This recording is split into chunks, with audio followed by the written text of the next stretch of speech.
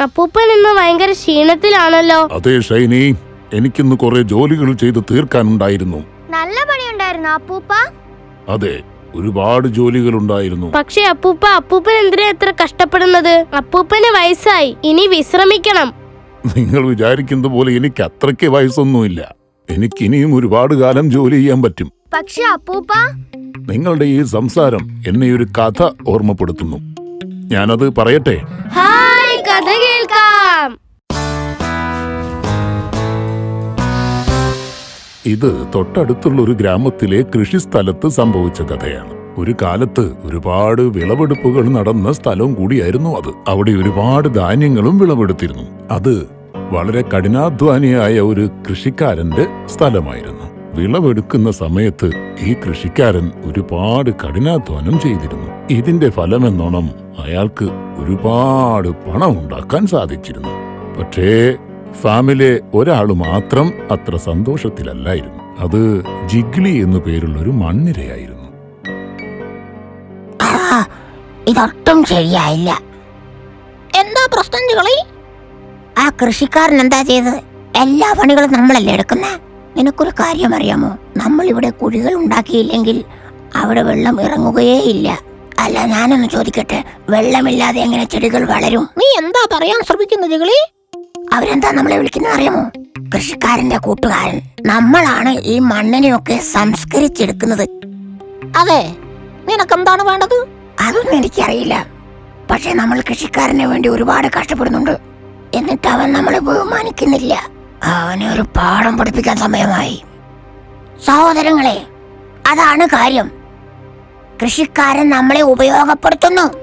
പക്ഷെ നമുക്ക് തിരിച്ചെന്തെങ്കിലും കിട്ടുന്നുണ്ടോ? ഇല്ല. നമുക്ക് എന്ത് ചെയ്യാൻ പറ്റും? എനിക്കറിയാം. മനുഷ്യന്മാരുടെ മുതലാളിമാരിൽ അവർ സംതൃപ്തരല്ലെങ്കിൽ അവർ ഒരു കാര്യം ചെയ്യും. ജോലി നിർത്തിവെക്കും. അതിന് സമരം എന്ന് പറയും അതെ. അടുത്ത കൃഷി ഇറക്കാനുള്ള സമയമാവാറായി. നമുക്ക് ജോലി നിർത്താം. നമ്മളില്ലാതെ കൃഷിക്കാരൻ എന്ത് ചെയ്യൂന്ന് അറിയണമല്ലോ. നിനക്ക് ഉറപ്പാണോ? നിങ്ങൾ എന്റെ കൂടെ ഉണ്ടോ ഇല്ലയോ?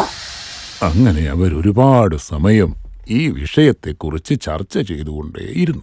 ഒടുവിൽ ജിഗ്ലിയുടെ അഭിപ്രായപ്രകാരം അവർ ഒരു സമരത്തിന് തയ്യാറായി. തൊട്ടടുത്ത ദിവസം തന്നെ അവർ സമരം തുടങ്ങി. നിക്ക് കുറച്ചു നാൾ നിക്ക്. മണ്ണിന്റെ അടിയിലേക്ക് കയറി പോകരുത് കുറച്ച് ദിവസങ്ങൾ കഴിഞ്ഞപ്പോ കൃഷിക്കാരൻ മണ്ണിന്റെ മാറ്റം മനസ്സിലാക്കി തുടങ്ങി. ഈ കൊല്ലം മണ്ണിനെന്തോ സംഭവിച്ചിട്ടുണ്ടല്ലോ. മണ്ണിന്റെ ഫലപുഷ്ടി മൊത്തം നഷ്ടപ്പെട്ടു എന്നാ തോന്നേ കണ്ടോ?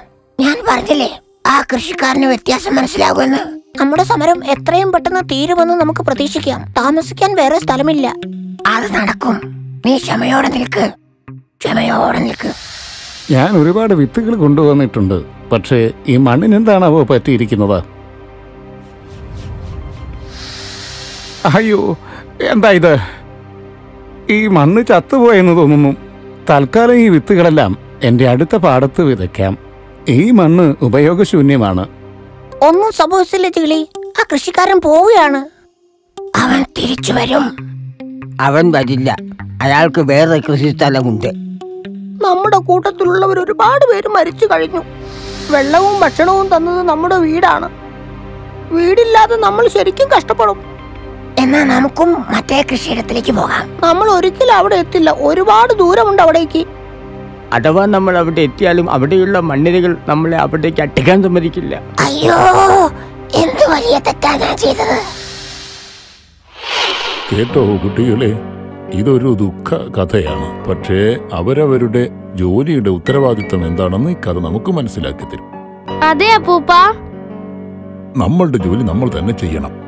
അല്ലെങ്കിൽ അത് മറ്റൊരാൾ കയറി ചെയ്യും. പരിണിത ഫലം നമ്മൾ തന്നെ അനുഭവിക്കേണ്ടി വരും. അതെ അപ്പൂപ്പ. മടിയന്മാർ ആ മണ്ണിരകളെ പോലെയാണ്.